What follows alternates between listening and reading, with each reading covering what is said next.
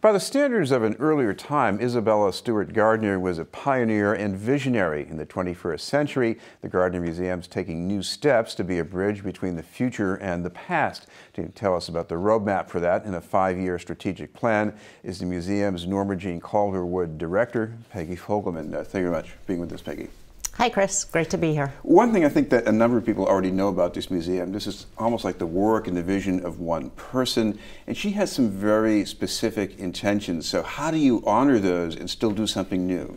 That's a great question, Chris, and actually, we thought a lot about that question in the strategic plan.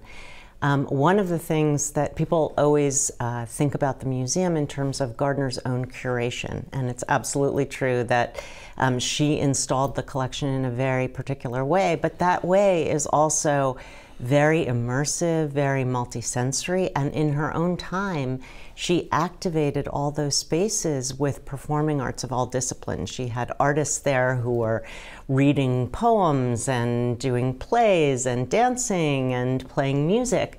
And so that. Um, you know, stimulation of an artistic experience through all these different forms of creativity is something that's very much embedded in the strategic plan.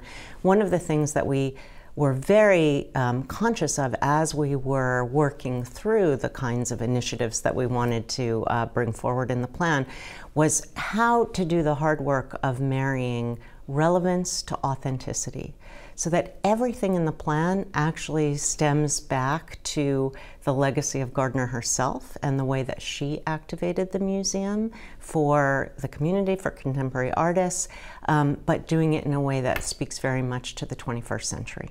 Now, I, I know I, I, first encountered this museum when Boston was a very different city, a lot more inbred, but when I'm reading about uh, Gardner's life, uh, I mean, what I see here is somebody who, you know, by the standards, late 19th, early 20th century. She's a very multicultural, very explorative kind of person. She she absolutely was. I mean, she was definitely you know a, a person of her time, um, with all the privileges and prejudices that that meant, which very much coexisted with.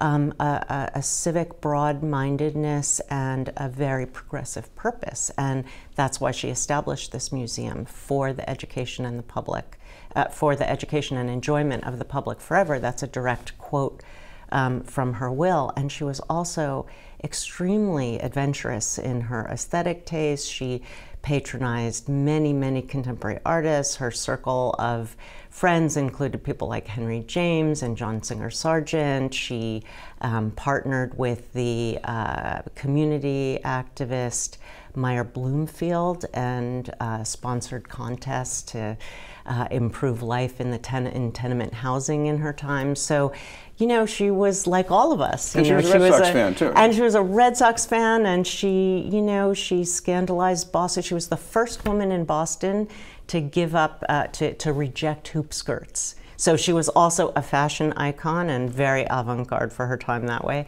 Um, she was very unconventional um, and also very, you know, progressive in many ways. Well, like many other uh, art museums, uh, uh, the Gardner has what's mainly a European permanent collection. So a lot of people say, you know, the population of Boston and many other American cities is quite different now. So how do you relate that collection and everything else you can possibly do in that museum to the new population? It's a it's a wonderful uh, question, and I like to think of the collection as a creative constraint in the sense that our collection um, especially for its size, is exceptional both in quality and importance and in range.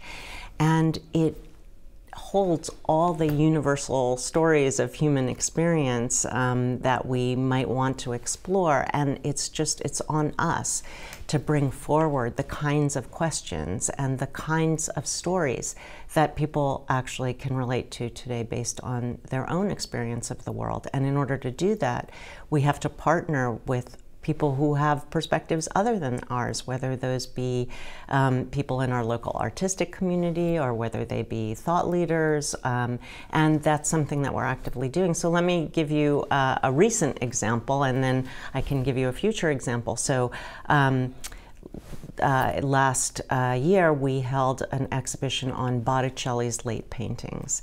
Now, Botticelli's late paintings um, very were done in uh, kind of graphic style to convey um, important narratives that are very akin to uh, what a graphic novelist might do today. And so, the curator partnered with um, a published New Yorker cartoonist to do uh, interpretive labels that are actually uh, cartoons based on Botticelli's painting. And also, um, the painting by Botticelli in our collection is the story of Lucretia, which is very much a story of violence against uh, women. And so we ask those kinds of questions. You know, where did where did aggressive and violent behavior toward women start? Well, it started with these ancient stories. So if we want to understand how we got to where we are today, we need to look back at the past and then we need to bring that forward through performance, through different forms of interpretation, through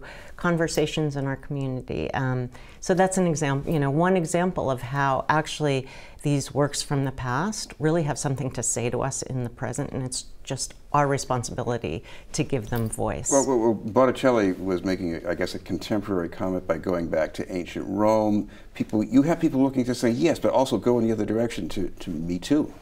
Exactly, um, which is why we had a, a, a multidisciplinary um, performance event in which we had people who were comparing Lucretia to Sandra Bland, for instance. Um, we have a, an exhibition coming up later in February um, that focuses on a group of drawings never before exhibited together by John Singer Sargent. Um, these are figure studies, and the model for these studies was a man named Thomas McKellar, who was an African American man living in Roxbury and working as an elevator attendant in the hotel where Sargent was staying. So these drawings bring up all kinds of questions in terms of um, race and class, um, and these were preparatory drawings for Sargent's murals at the MFA. So, what does it what kind of agency did Thomas McKellar have? What kind of relationship did they have? What were the circumstances um, of racial relations in Boston at the time, and how do they help us understand those circumstances today? All these questions will be asked in this in this exhibition um, by uh, people we've partnered with from the local community of artists, artistic partners, performers. We have many performative works, um, many different kinds of ways of exploring these these questions, which are important to understanding the works of art, but also understanding ourselves today. Uh, I mean, a lot of us in Boston are, are familiar with the the controversy over what happened at the MFA recently, but this is something that could happen in a lot of museums in a lot of cities. I'm sure you're sort of even preparing for something like this when you're having conversations about your plan.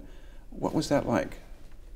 Well, we, we um, first of all, I want to applaud uh, all my peer institutions all around the country. I think it's a great thing that museums are all trying to be more relevant and more welcoming to our communities, and that's very, that's you know a, a, very needed development in our institutions. Um, what we're trying to do at the Gardner is really approach it holistically. So, in addition to you know undertaking um, the kind of building of cultural competency within our own staff and looking at you know um, how we uh, how we exemplify inclusive practices in our hiring, in our training, um, in the ways that we welcome visitors. We're also thinking about it in terms of, you know, who has a voice at the Gardner? And our community needs to have a voice, which is why um, we form very deep partnerships and relationships with artists in our community. Um, we have partner organizations who we work with, and we really see the, the Gardner as having the potential to become a platform um, where we can co create with people, where we can bring in um, all different kinds of perspectives from all different kinds of life experiences, different backgrounds, and they all um, help us, in fact, to uncover um, the meanings that are in the works of art that we both have and that we display. Well, uh, you know, my first impressions of the museum was that you know, an, artist was somebody who painted something on the wall today, hundreds of years ago. You have artists working there, and, and not all white guys either. No, in fact, we have uh, we're about to open um, next week uh, an exhibition that celebrates 25 years of an artist in residence program. Um, these artists come and they live at the Gardner and they derive inspiration from being at the Gardner, and and they often create new work in response. And um, those artists come from all over the world and from all different cultural backgrounds. Um, we also have uh, many artists from Boston who we partner with, who we co-create with. Um, whether through performances or um, other kinds of, you know, public offerings, and you know, um, it's really it's it's really about um, being able to embrace a lot of different kinds of perspectives, a lot of different artistic mediums, and um, a lot of different kinds of lived experiences to be able to tell new stories.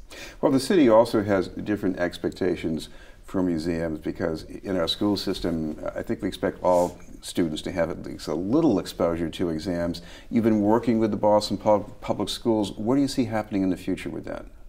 Well, we're actually uh, expanding our service to Boston Public Schools um, and uh, working very intensively with Boston Public School teachers in order to um, integrate the arts across disciplines into their classroom and then combine that with museum experiences for students um, so that this is really not a one and done kind of field trip, but really a deeper um, relationship to art as a means to advance critical thinking skills and visual literacy and ways to really promote student centered learning. Now, Chris, another thing that you, uh, I think, trying to map out is to make the art even, I guess, more accessible to people who go into the museum. Because I guess one of the frustrations occasionally is that you see something, but you know the lighting isn't that great. You try, I'd like to get a better look at that. you know, uh, oh, there are paintings in there I didn't even uh, uh know about. You know that that's you know Sargent also had this watercolor of Isabella Stewart Gardner. I, just, I didn't even know he had another one in there. So how, how do you make people know more about these things and seek them out?